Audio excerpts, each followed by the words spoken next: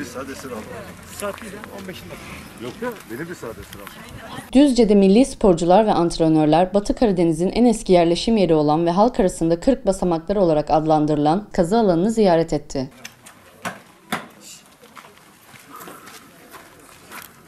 Kazı alanında antik kenti ile ilgili bilgi alan sporcu ve antrenörler ayrıca kazı çalışmalarına katılarak tarihin gün yüzüne çıkartılması için kazma vurdu.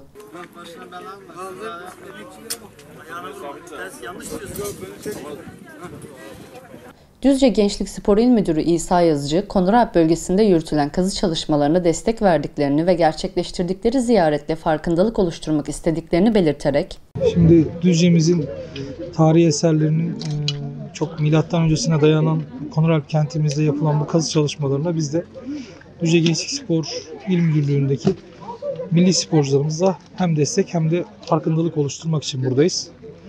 Tabii ki milattan önce ve milattan sonra özellikle Yunan tarihinin buradaki Konuralp'teki antik kentin e, Düzce Belediye'miz tarafından tekrar Kültür Turizm İl Müdürlüğü ve Bakanlığı'nın destekleriyle yapılan çalışmaları biz de takip ediyoruz aslında. Ee, Bizim bu kazı çalışmaların Düzce'mize ciddi manada katkı vereceğini de biliyoruz. Milli sporcularımızla biz de gelip bizzat kazı alanında hem yapılan işleri bizzat görmek hem de katkı vermek, farkındalık oluşturmak için bugün buradayız.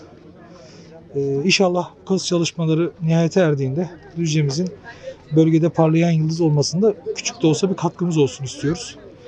Ee, milli sporcularımızın e, büyük bir kısmının da ilk defa geldiğini gördük. Onlar için de e, güzel bir şey oldu.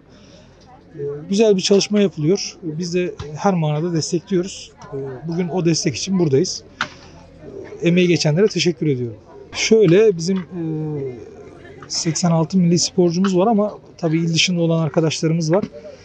Bugün 60'ın üzerinde milli sporcuyla geldik buraya. Malum ülkemizde bir koronavirüs e, tehdidi var. Biz de bu Covid-19 sürecinde açıkçası ısrarcı olmadık. Düzce'de olayan, Düzce'de yaşayan milli sporcularımızı çağırdık. Burada farklı bir etkinlik yapmak istedik. 60'ın üzerinde milli sporcumuz da buradayız. Wushu Avrupa şampiyonu milli sporcu Hasan Mustafa Ödemiş, antik kentin Düzce turizmine katkı sağlayarak bölgeye turist kazandıracağını ifade etti. Ödemiş, Ee, öncelikle ülkemizin birçok yerinde buna benzer e, tiyatrolar var ve bizim e, ilimizde de olması benim için çok hoş. Çünkü e, genelde turistik açıdan da ülkemize e, gelen turistler hep başka bölgelere gidiyor. Artık bizim bölgemize de gelebilecek. Biz de bugün bilgilerimizi öğrendik ve artık e, biz de buranın destekçisiyiz diyebilirim.